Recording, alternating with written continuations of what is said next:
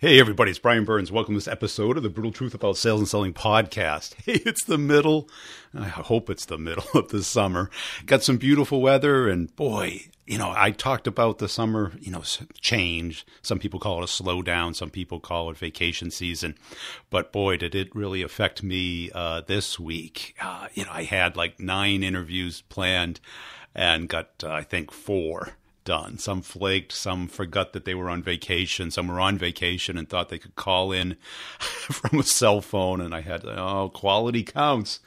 I'm really trying to get the quality of the sound better and better. Um, you know, but you got to understand, I'm interviewing people who do not get interviewed as a profession, not like me.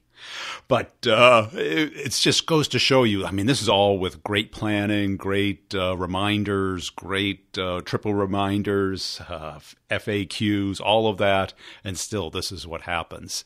And it's just the time of the year, and it shows um, really kind of human nature, and that people don't really block out that time uh, and kind of think it'll all work out for the best. But enough about me.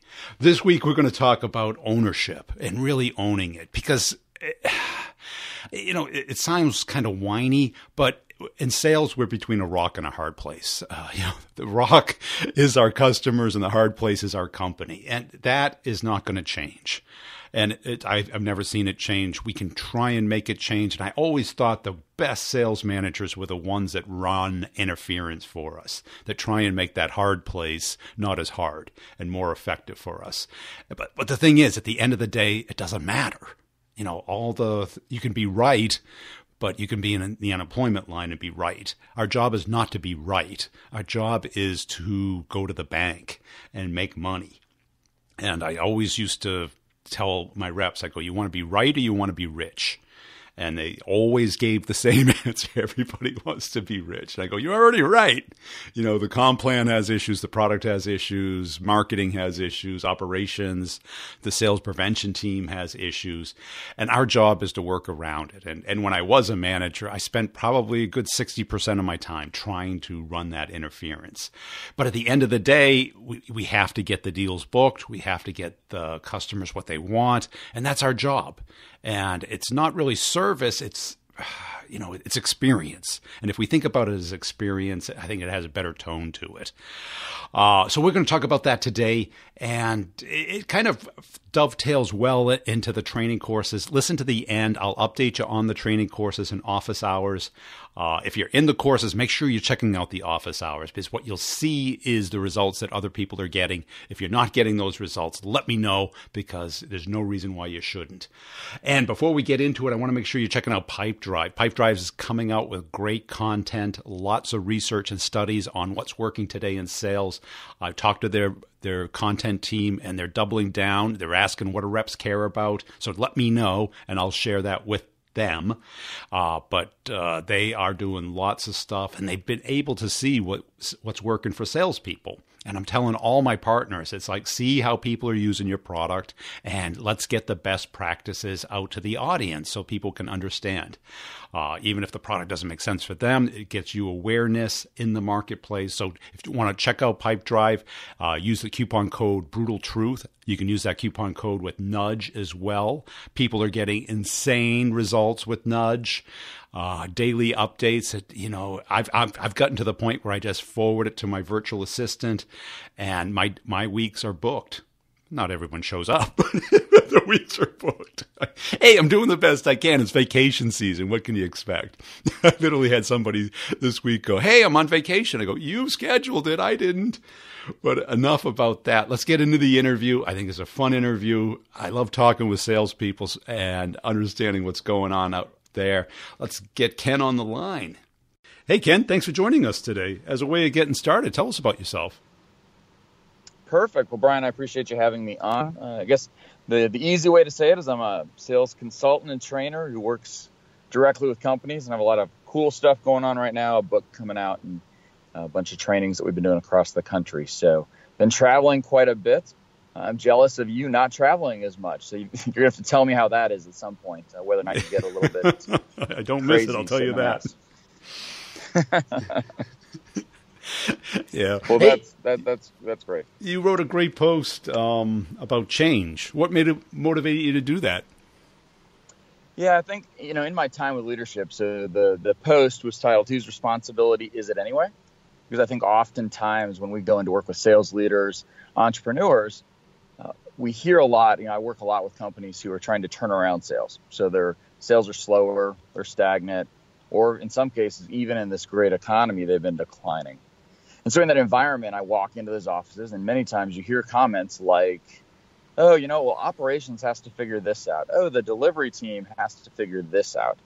And so as I've continued to see this trend over and over again, the idea was, okay, that's great. Those things may be true, but whose responsibility within the organization is it to force change? Uh, and my contention is that it's absolutely sales has the responsibility to put so much pressure on the operational team that they must become more efficient for the success of the organization. Now, and the salespeople probably say, "Well, I tried that." because um, I, I, run into it all the time. I've been that rep. I've been the, and and I, I hear it all the time.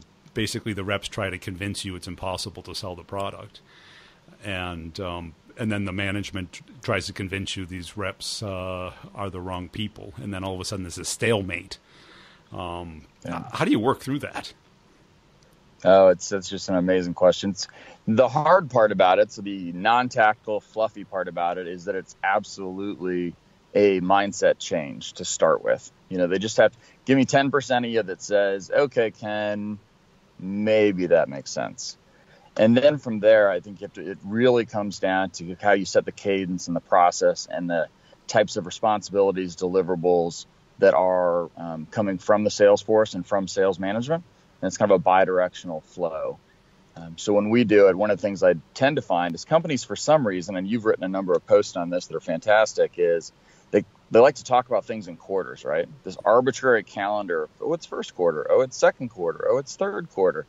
Um, and so that also tends to bleed through to how the sales force thinks they need to perform. Um, and so one of the very first things that we start to do is we start to tighten up the cadence of how they talk and communicate about deal flow and how they talk and communicate and check on each other about what the expectations are.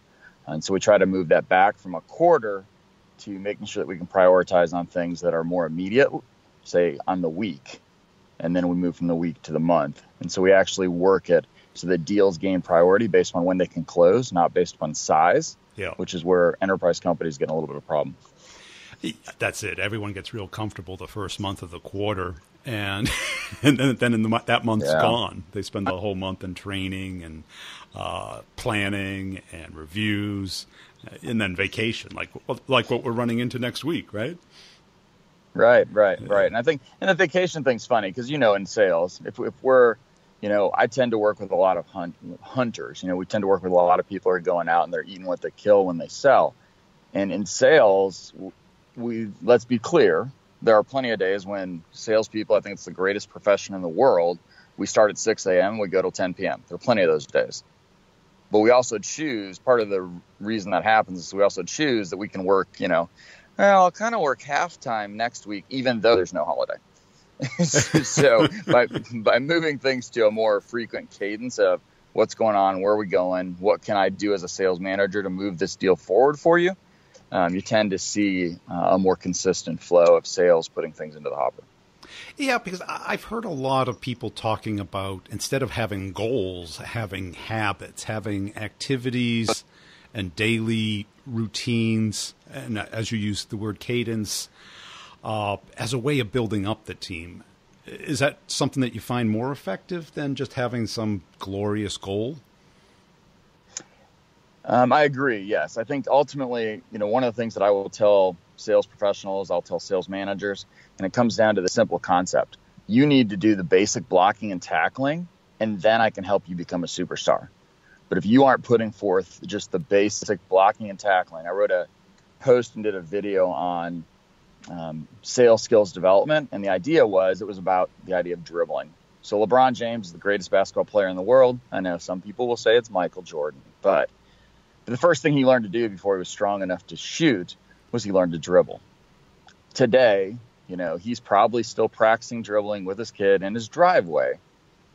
But salespeople, for some reason, we lose the idea. We think, oh, I already figured out that front end of the process. Oh, I already figured out how to cold call. So therefore, I don't need to do that any further or practice or refine those skills. Um, and so we get them into the idea that yes, you have to do the basic blocking and tackling, and then we'll take you from being an above average performer to a rock star. Now, do you get a lot of resistance with that where people say, well, I know that? And there's so much difference between knowing it and doing it. I mean, because you can watch a video about dribbling and, oh, yeah, you just hit the ball, it hits the ground, you hit it back. How hard can it be, right? Right, right. As Tony Robbins says, and I take this to this is kind of the way that I look at this particular process with people. Tony Robbins says, I want to judge you by your walk and not your talk. Yeah. Um, and so go ahead and say it. That's fine. But let's make sure that your behaviors are actually showing me that you understand it. So, yes, when we talk about cadence and habits, it's much less important that it's called a cadence or that it's called a habit than that it's clearly defined. You know, so I think when you were actually interviewing, I believe it's Jason Price with Covideo, he, he talked specifically about defining those expectations. Yeah. And so as one of the things that's happened over the years, I think sales managers have, are not necessarily as good in general as they used to be because we've gotten so driven by this whole kind of theory of AI and technology and reporting. So when it comes down to the sales manager, I think those expectations have to be clearly set, but they also have to be responsible to their sales force and show them the ways they can remove barriers to help get deals across the line. And, and how do you build that into a, a daily routine? Have have you come up with something that works for you and that you teach? Sure. Yeah, we've seen. Uh, you know, it depends on the organization, but theoretically, you know, we do most of our work with B two B sales organizations who are selling to, you know, anything from a, you know, five thousand dollar a month to a multi million dollar project. And so, when it comes down to the bidirectional communication between a sales manager and the sales staff, you could do something as um, something as simple as replace your stand up that you're doing today with your team with something that actually works. so you can see that you can see there's some skepticism in, in me on what these stand ups look like, right? Um, and don't get me started on some of the communication platforms that people just use. But that's I'm, I digress. So you, in your daily cadence, so we've got one particular company that went to the idea of they put in a 15 minute stand up on Monday, and the only thing that stand up was is what are the priority what are what priorities do we have on what deals whose responsibility is it to knock out this week? And then on thursday they have an additional 15 minute stand up where they actually go back and go okay what did we say we were going to do on monday? What's been done? Whose responsibility is it? And if it hasn't been completed it must be completed by friday. And that cadence has, has been good for the team. That sounds a, a lot like um, i don't know if you've gotten john doerr's book about uh, okrs um, uh-uh. Yeah, you should check it out. Um, it, it's kind of the, the, same thing where you, you have an objective and then you have the actions that are going to create that objective. And he his model, which was taken from Intel uh, and mm-hmm. Andy Grove, was about you know, quarterly cadence which I, yeah. I, I, totally get. I think the quarterly thing you can't really get away from it because it, you know it trickles down from the CEO who has to go in front of the board every three months, yep. or go in front of Wall Street every three months, and it, it kind of changes the focus and you know it, it muddies the waters a little bit. But what I always found was when I didn't follow the quarterly thing, I always moved it up one month and I never had anything expire in the last month of the quarter. I, I, really got myself focused, and I, I, used to do a monthly thing because even when I was doing big deals, because yeah. you always got stuck in procurement, and procurement was something that you didn't have a lot of control over. Yeah, that makes a lot of sense, and it's one of the things when we when we when we take this cadence and we start to shorten it so that the sales organization can focus on producing consistent results instead of, you know, if say you have a service delivery team and we're on a quarterly cadence as far as communication between the sales manager and the sales people. Well, many times, you know, that third month, March, it may be, you'll get a just a flush. 75% of your business for the quarter may come in. Yep. Well, it also creates additional constraints, and there's just additional constraints on how to deliver that, right? Because you have these big peaks and these big valleys. Um, and then it also tends to the other thing that happens with that quarterly cadence, besides the fact that you're more likely to miss your number, as my friend John Barrows says, you know, the end of the month or the end of the quarter. I mean, you just absolutely throw margin out the window as a salesperson because I know you're a big believer in relationships too. But across sales in general, they think price actually matters to that if they drop it by an extra few bucks at the end of the quarter or the month, that they'll actually get the deal done. And that's not an effective way to do it. And the problem becomes they don't get the deal in the quarter or the month they wanted, but then they lowered the overall margin to the company too. Yeah. Um, and so, yeah, there are a lot of things you're talking about. The right. Yeah, it's hard to claw that back once it's out there. Um, you know, especially with an intangible like technology or something that doesn't have a marginal cost and everybody knows it. Um, yeah. And what uh, are you seeing working today in, in, sales? I mean, I'm sure you hear, you know, a bunch of whining, a bunch of um, from everybody, right? Yeah, yeah. I think well, it's interesting too. And now you talk to a lot of people and a lot of great sales leaders and a lot of consultants and trainers and folks like me. And I'll bet that you, I, I'll say this phrase to you, and I think it will resonate. All the problems that sales faces, regardless of organization size, are uniquely the same. You know, I tend to find that I go into organizations and when I work with companies, you know, they have some core things going on, right? That you've got to change the beliefs behind. You know, one of them is price matters the most, right? Oh, we're being commoditized by everybody else right? That yep. relates that they all believe that they have good business relationships. But when you or I, if we were to go in and talk to those uh, customers, as I've done, I find out they're well, they're actually business acquaintances, and that's why you can't get your referrals up and running. Um, so today, I think ultimately, this may sound silly, but I think it's almost I've almost adopted a legacy thinking, and that is do what everybody won't do.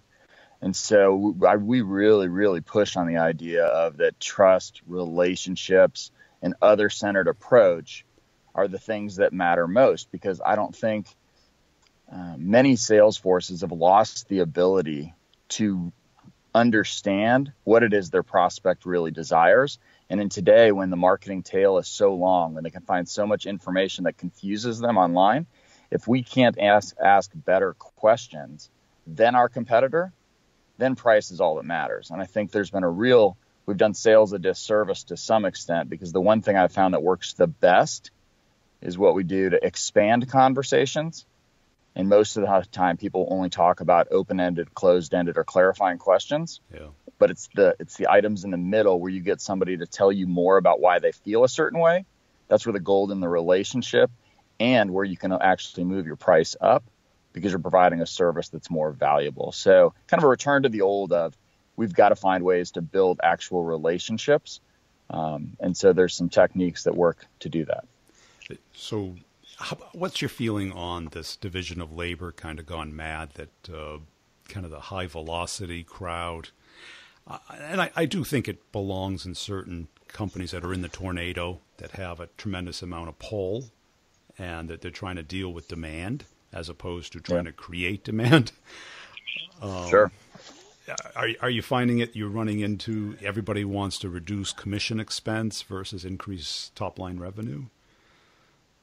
Hmm, it's an, it's an interesting question. I think what I run into is there's all of the information out there. I think has really just confused companies. You know, so my core, the core set of clients that I have are sub 100 million dollars. So still really solid ongoing entities but you know, but they're not the multi-billion dollar companies who already have all the demand just coming at them, and they're trying to segment it. Um, and so when I look at those companies, there's a lot of confusion over: do I use an SDR model? Do I use a BDM model? Do I want to pay people for actual performance?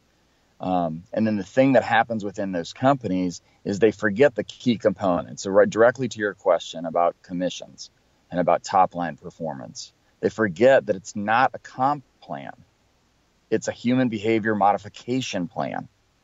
And my sales force should be able to sit up in bed in the morning, hold up their comp plan, and know exactly what they're required to do in order to perform within my company.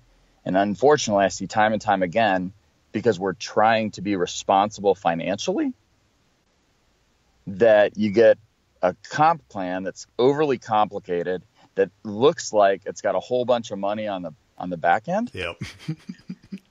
but not a single salesperson believes they're actually going to hit it.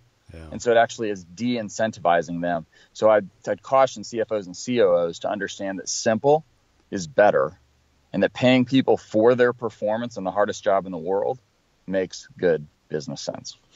And that's it. And I think we've really taken the wrong turn on that. Um, I'm not sure when you started, but when I did, I started, it was like 80% of the people would make their number. And, and today yeah. it's closer to 50. And taking a job where it's like 50% likelihood of making that target income, which has continued to go up. But the problem is right. they've, they've made it um, that only half do and then there's a lot of the people on that half that uh, were lucky or got a good territory or the timing was right. And that builds a little bit of resentment uh, up in the team because if you work really hard and you don't make your number, um, it really impacts your career. Yeah. You know. Yeah, and sales are only as good as your you know your last year's number. I don't think that's changed. You know, that I'm 46, changed, so right. So it's one of those things. You know, I would tell new salespeople when I was in a position to bring them on and they were working for me as a manager, I'd say, look, here's the deal. I'm going to change your life this year if you'll do the things that you're asked to do. Yeah. Right. Because of the idea they can, you know, they go from 30 to 65,000 and they're 26, you know, if they stay the path. Yeah. Yeah, it's it's cool stuff. But yeah, I think you're I think you're right. And there you know there's some people out there who are controversial who are talking about it you know, Graham Hawkins talks about how the elimination of commissions out of it. He's out of Australia, but um, I think for companies who really get it, you've just got to tie it to the performance of the company. And the other thing you have to be okay with is having some people who just crush the number. I've seen too many times where they create a comp plan that brings up the pay for the bottom performers and actually de-incentivize the uh, the top performers. And so we've just got to make sure that and if somebody kills it, let's go ahead and pay them because you want to keep that rock star around because it motivates the entire team. Right. You want to see that and hold it up because it helps you hire people. Uh, and then you don't want to do the, you know, divide that territory into three and ha- keep handicapping that person until they can't make the money that they want. And then they go somewhere else. Um.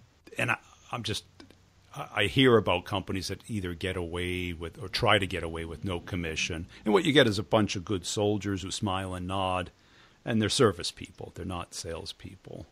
They're not yeah. bloodthirsty. They they're not the ones that are going to get up at four in the morning to jump on a plane. They're not going to lose sleep at night if the deal doesn't come in because they have no financial or emotional attachment to it. Yeah, and I think that's a, that brings up the second point of that too, right? So comp plan's a piece of it, and probably one of the biggest misnomers in all of sales management is that if I put a good comp structure in place, that that person should be personally motivated, self motivated, you know. And ultimately, as I've heard you as you've interviewed other guests, I agree with a couple of them where they've said, "Hey, look, now you've got to actually manage to the individual."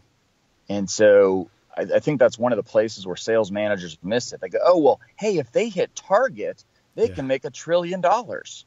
Right. That should be enough. And then the sales manager goes, sales manager, the VP, the business owner goes back in, buries their head in the computer, starts looking at reports, but forgets. You know, I'm a big believer that I think, quite frankly, everything comes back to Maslow's hierarchy of needs. and these humans have a basic level of need and the comp is just the thing that comes after we've satisfied those other needs to get them to perform.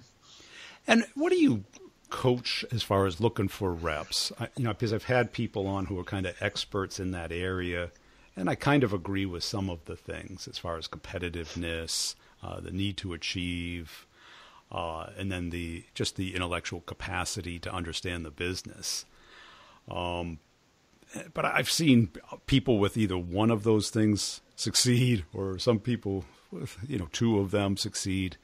Well, what profile do you find that is really working today? Well, let me challenge you for a second. I'll challenge those experts. Do those? I'm a big believer that words matter and they're precious. You know, and I, I believe the idea. I can't remember who said it, but I believe in the quote. If I had more time, I'd have written you a shorter letter. Yep. And Mark the Twain. idea that yes, there you go. I knew it was obvious, but in the moment, there yeah. you, can see I'm authentically stupid sometimes.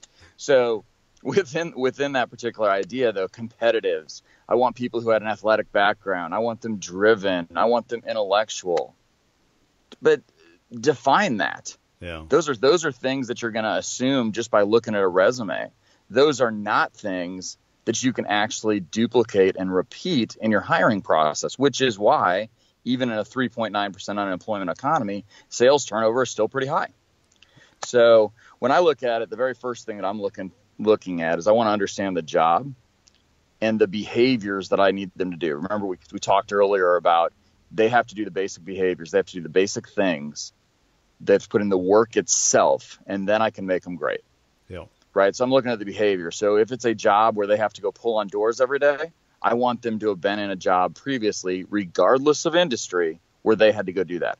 If I have a high cadence or pace, if my turn if my deal flow comes in and they're supposed to close 12 deals a, a month i'm never going to hire somebody who only closed a deal a month you know and i don't and a lot of times it's not necessarily even going to be price reflective right? It's not going to be industry reflective but it's i'm trying to get to what does this person think success feels like?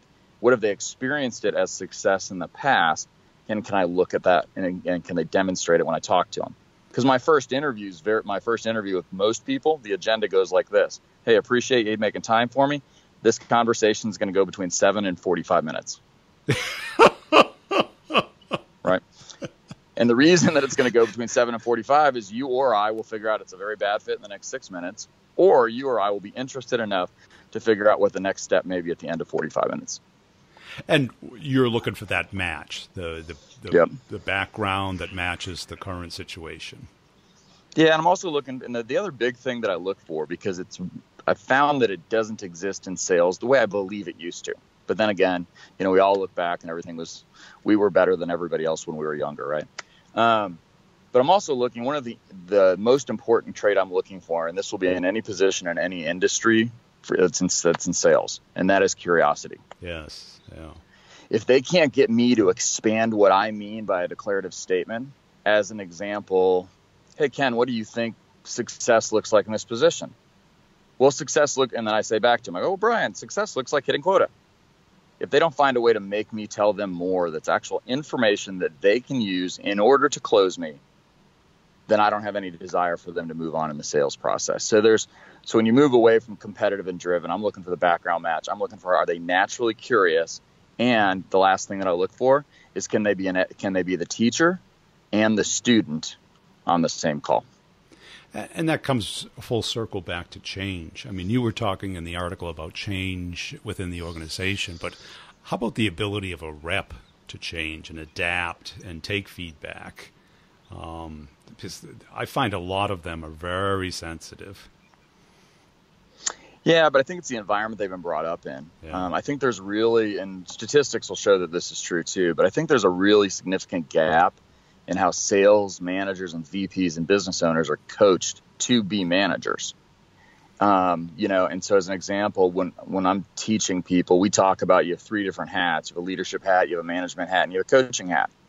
Well, unfortunately, in most leadership environments, I think I'd say the vast majority of leaders are always managing yes, and they forget yeah. to coach and they forget to lead. And so the very first thing that has to happen is that the VP, the executive, the entrepreneur, the CEO, they have to buy into the idea and then they have to show it with their walk that this is not just a passing fad because the other thing that cultural rising the you know their their human brain the fight or flight mechanism is saying, okay, sure, you're interested in me today, but tomorrow your priorities will change. So if I just weather this, I don't have to change anything. You know, and hu- as humans, we don't want to change. No. So I think it starts with sales leadership and then it moves to sales, but you because you have to set the example. Um, and it, yes, it doesn't happen in a day, but if you commit to it, the outcome is unbelievable. Excellent. Hey, this has been a great conversation, Ken. Where do people go to learn about you, connect with you, and uh, learn about your company? Perfect. Yeah, they can go to Ken Lundin, which is L U N D I N dot com. Glad to connect with people on uh, LinkedIn. I'm a heavy user, just as as you are. Um, and then I think at the by the point time this comes out, we will actually have had a, my book out, I'm part of a co-contributors or co-authors in a book called Purpose, Passion, and Profit. And so Kyle Wilson, who was a Jim Rohn's 18-year business partners in it, Robert Helms was the number one real estate podcast. It's just a great collection of sales and thought leaders. So um, that'll be something. So kenlundeen.com, connect with me on LinkedIn or social media. And Brian, I really appreciate the conversation. This has been a blast. Yeah, I hope you enjoyed that. Ken's a great guy, great perspective on things. And that ownership capability and mindset is really a differentiator between B and A players. It's so easy in sales to come up with reasons why it's not working. There's so many of them. That's our problem. It's the people who kind of, you know, run through that. Instead of running through just the rejection and the kind of the, the pushback that you get, run through that uh, that ownership that I own it, and it really comes to the the thing that I'm kind of on right now is that knowledge is not enough in sales. You know, you can listen to comedians 24 7, doesn't make you funny. You can watch cooking shows, you know, for eight hours a day, doesn't make you a good cook. You may know what it is, you may have studied it until you do it. And sales is a doing it profession. Knowledge is probably the 20%, 80% of it is doing it.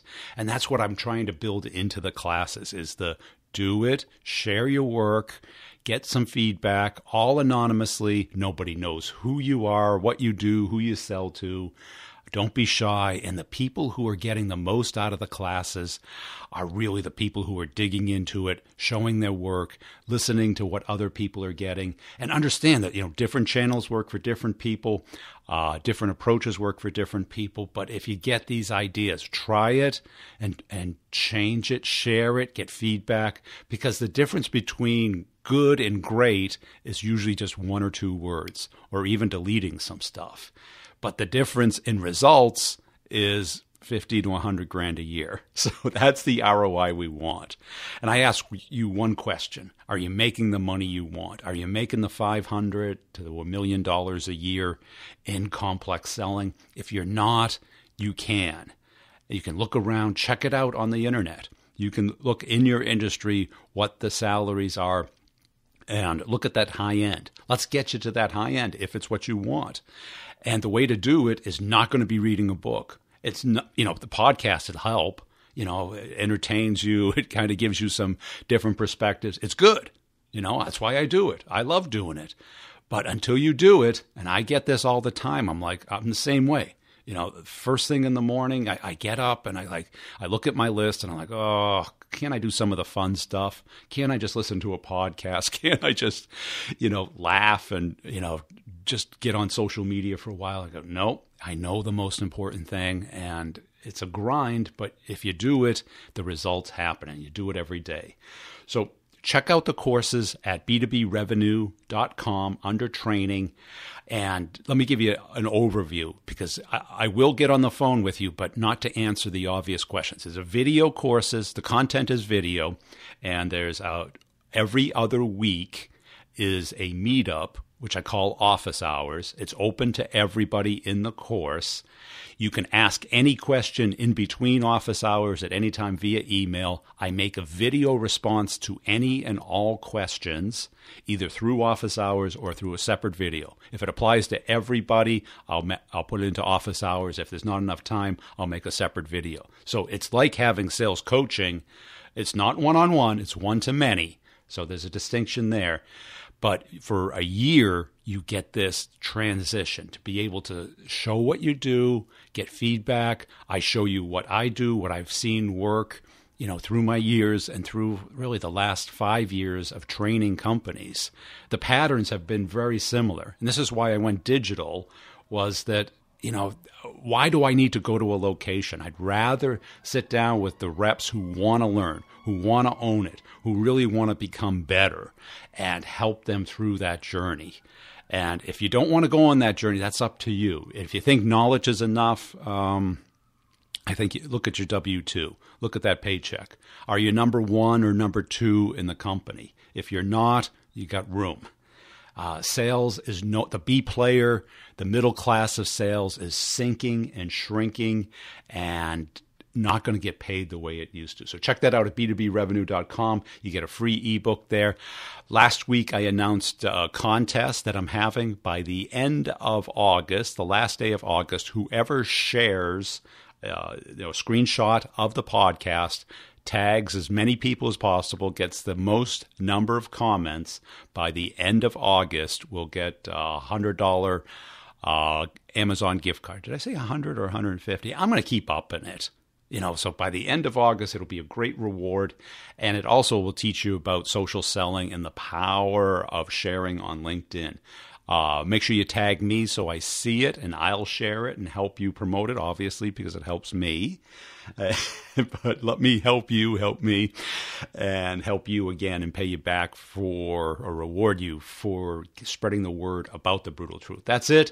Uh, make sure you're checking out the other podcasts. I'm going almost daily on the Sales Questions podcast, so I, I get riffing on answers there and what I'm seeing and answering questions for you. So you can just email them to me at briangburns at me.com or just on LinkedIn. Just connect up with me and email me a question. I'll get that answered on that podcast uh, as it makes sense. I do it based off of applicability to the most number of people. Thanks for listening. Make sure you check out the show notes for all the links to our partners. Use the coupon code Brutal Truth at both Pipedrive and Nudge. Check out the blogs at gong.io and discover.org.